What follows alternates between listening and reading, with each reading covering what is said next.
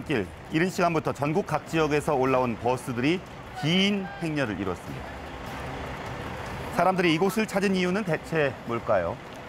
가만히 있을 수가 없어서 왜 다 왔어요. 집에 아주 일 바쁜 일다 터쳐놓고 쌍문역에서 왔는데요. 나 이런 거 생전 처음인데 텔레비를 보면 킬 때마다 분통이 터져 열불이 나가지고 신불이 나가지고 나왔어요. 참, 이거 진짜 이거 이게 나라 꼴이 이게 말입니까? 이제 이제 하야가고는 안 돼요. 저를 어? 정치, 경제, 사회, 문화, 어? 노동 전부 다 폭망해놓고 무슨 광화문 광장 1.4km 구간을 가득 메운 사람들. 이곳에서 대규모 집회가 열렸습니다. 주최 측 추정으로 약 300만 명이 모였다고 합니다.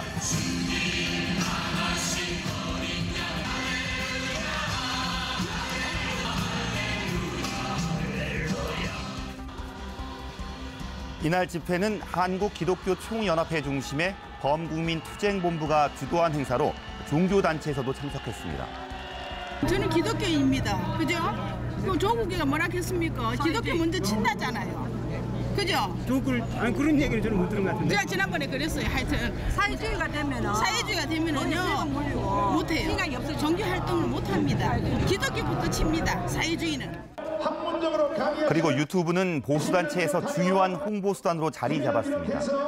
유튜브 방송에 이르는 공부를 철저히 하시기를 바랍니다. 집회 도중 일부 보수 유튜브 채널을 추천하기도 한 전광훈 목사. 가장 기쁜 시간이 돌아왔습니다. 무슨 시간일까요? 헌금하는 시간이죠. 집회 참가자들을 대상으로 헌금을 걷어 기부금법 위반이라는 논란이 일기도 했습니다.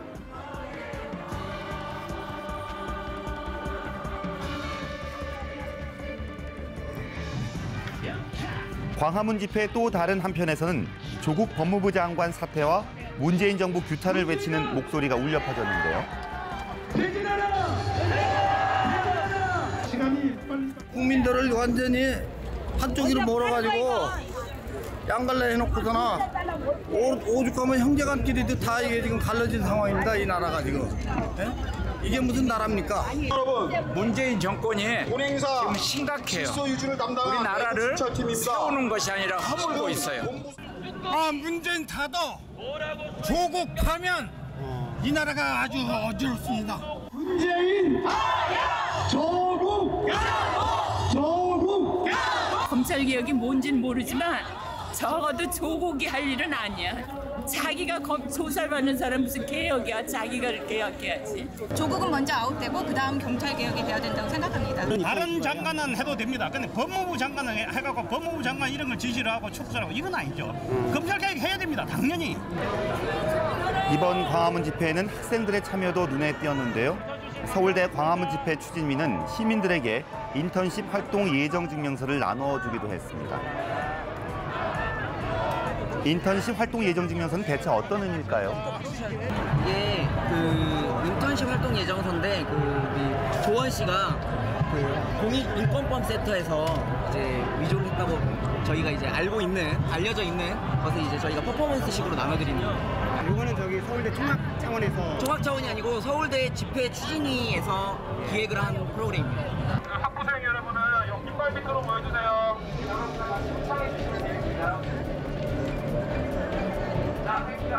누굴 위한 정부인가? 우리도 국민이다. 누굴 위한 정부인가? 우리도 국민이다. 시작은 입시비리로 시작을 했는데 파보니까 너무 끝이 없어서 조국 장관 본인의 문제는 아니지 않느냐 이런 또 얘기도 하잖아요. 조국의 와이프, 혹은 조국의 딸, 조국의 아들,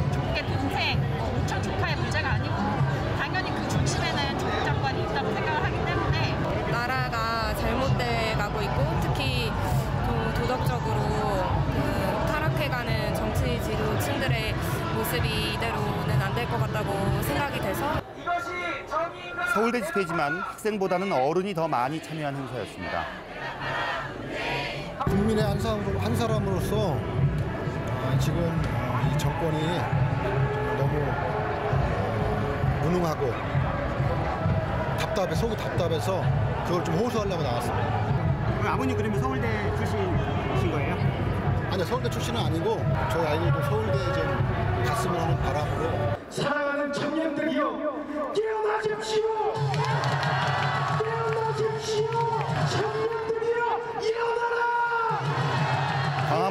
일부러 독특한 복장을 하고 나온 청년들도 있었는데요.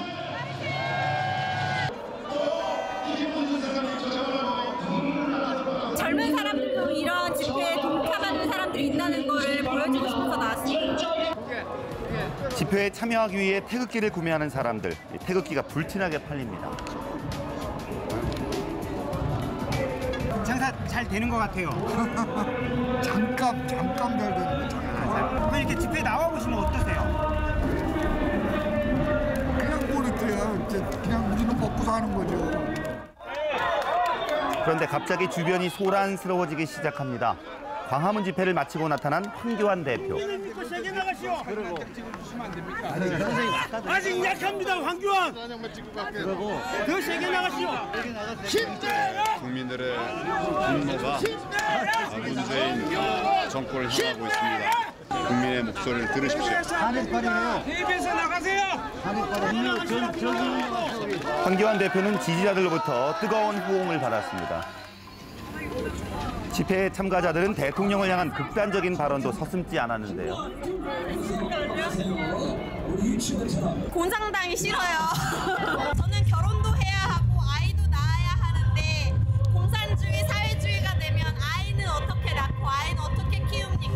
키웁니까? 문제 잡으러 나왔습니다. 문제 잡으러. 적극 통일 위하여 공산주의 만드는 길 아닙니까? 공산주의 만든다고 생각하시는 우리 포항에서 다 그렇게 생각하고 있어요. 해질 무렵 청와대 방향으로 행진이 시작됐는데요.